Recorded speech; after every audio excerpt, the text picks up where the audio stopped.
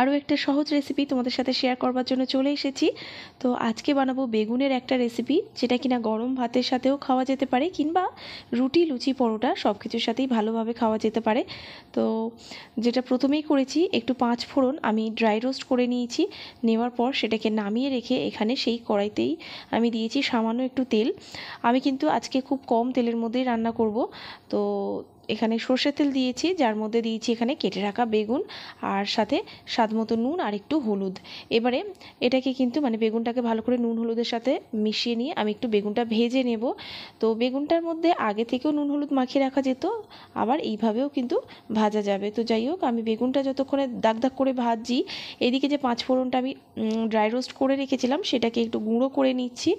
তো দেখতেই পাচ্ছ এটা গুঁড়ো হয়ে গেছে। এটাকে আমি একটা বাটির মধ্যে নামিয়ে নিচ্ছি।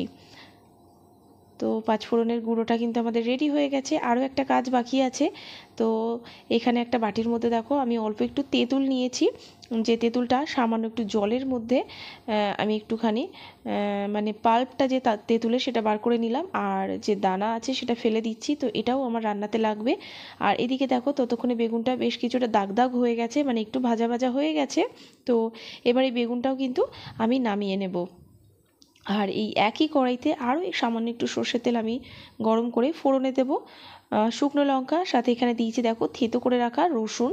তো রসুনটাকে আমি একটু তেলের মধ্যে বেশ কিছুক্ষণ সময় নিয়ে ভেজে নেব। তো রসুনটা একটুখানি ভাজা ভাজা হয়ে গেলে তারপরে আমি এটার মধ্যে অ্যাড করব।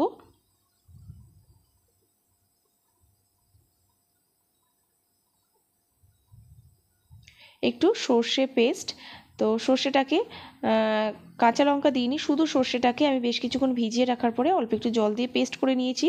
তো সেটাই আমি এর মধ্যে দিয়ে দিলাম। হালকা করে একটু নাড়াচাড়া করার পরেই কিন্তু আমি ভেজে রাখা যে বেগুনটা ছিল, সেটা আমি এটার মধ্যে অ্যাড করে দিলাম। দেওয়ার পরে বেশ কিছুটা মানে ভালো করে মিশিয়ে নিচ্ছি, দেখতেই পাচ্ছ। এরপরে এর মধ্যে প্রথমেই দিয়ে দিচ্ছি, দেখো, স্বাদ মতো একটু চিনি দিয়ে দিলাম।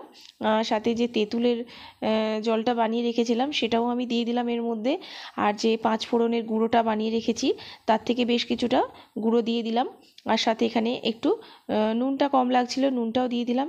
আর এদিকে দেখো, একটু গরম মশলা গুঁড়ো দিলাম। আর সাথে একটু চিলি ফ্লেক্স, আর একটু দিয়ে দেবো এদিকে জিরে গুঁড়ো সামান্য, ব্যাস। তো এটা দেওয়ার পরে ভালো করে কিন্তু আমি এটাকে মিশিয়ে নেব। তো গ্যাসটা এই মুহূর্তে আমি একটু মিডিয়াম ফ্লেমে দিয়েছি। তো বেগুনটা মোটামুটি নরম হয়ে গেছে। তো রান্নাটা কিন্তু কমপ্লিট হয়ে গেছে। তো এরকম অনেক রেসিপি কিন্তু আমার চ্যানেলে আছে। অবশ্যই চেক আউট করে নিও। আর এই আচারি বেগুনের রেসিপিটা কেমন লাগল জানাতে ভুলো না। তো ভালো থেকো। আবারও দেখাবে নতুন কোনো রেসিপির সাথে।